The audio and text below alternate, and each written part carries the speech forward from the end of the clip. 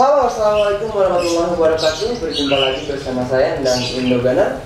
Di video kali ini saya akan mereview sekaligus memperkenalkan jenis senapan blue pulsar ya, seperti ini untuk unitnya.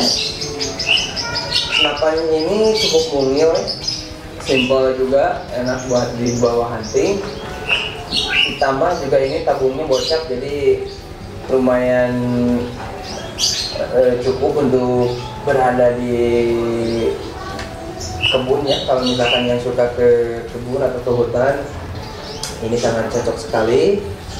Di samping simple ini enak dibawanya nggak terlalu ribet juga ya.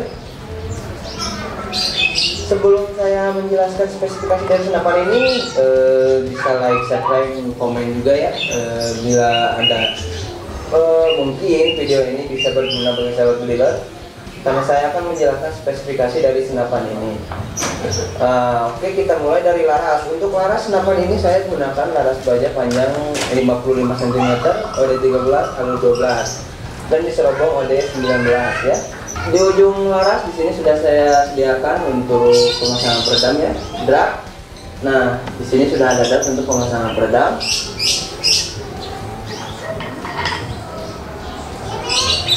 Cincin kita sudah pasang cincin penyagai atau stabilizer atau penyeimbang ya antara tabung dan laras.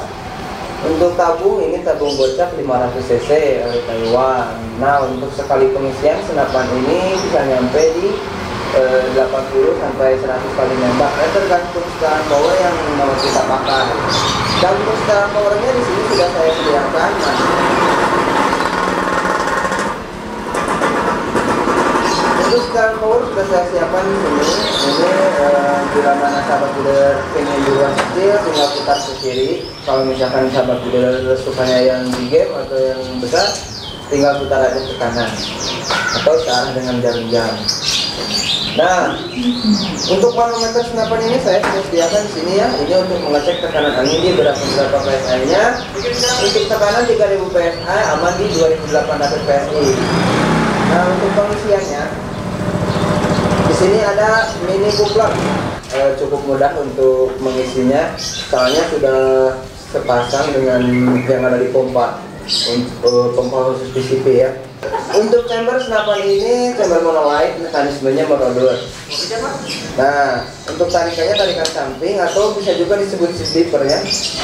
Nah untuk adaptor single shoot sudah terpasang di senapan.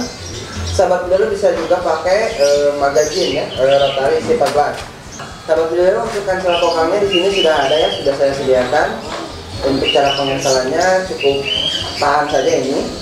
Nah ini pemicunya kita nah ini otomatis akan mencancel sebuah tembakan atau merilis sebuah tembakan ya. Nah untuk triggernya sudah terpasang dan juga safety triggernya pun juga ada di sini ya. E, nah ini yang kuningan ini Nah untuk kunci trigger senapan ini sudah ada dan untuk safety triggernya di sini saya sudah pasangkan yang kuningan ini. Ini sudah mengisi ya. Kita dorong lagi ini akan bekerja kembali. Untuk popor senapan ini saya gunakan popor kayu mangga hutan, sangat ringan dan kokoh dan cukup ringan juga sih untuk senapannya ini eh, kurang lebih di 2 kg setengah ya. Cukup ringan untuk rel pemasangan teleskop pun sudah saya sediakan di sini ya. Uh, jadi enak. Nanti masang tele di sini. Ini sudah ada relnya.